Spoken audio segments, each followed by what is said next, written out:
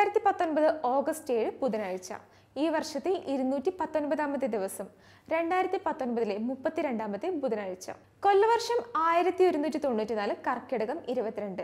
ഇന്ന് national handlooming day. ഇന്ന് national handloom day. ആയിരത്തി എണ്ണൂറ്റി ഇരുപതിൽ ഇതേ ദിവസമാണ് ഹവായിൽ ആദ്യമായി ഉരുളക്കിഴങ്ങ് കൃഷി ആരംഭിച്ചത്. ഇന്ന് ശാസ്ത്രജ്ഞൻ എം എസ് സ്വാമിനാഥന്റെ ജന്മദിനമാണ്. റോമൻ രാജാവ് ഹെൻറി നാലാമൻ ഓർമ്മയായതും ഇതേ ദിവസമാണ്. ഇനി ഈ വർഷം നൂറ്റി നാൽപ്പത്തി ആറ് ദിവസങ്ങൾ കൂടി. എല്ലാവർക്കും ശുഭദിനം നേരുന്നു.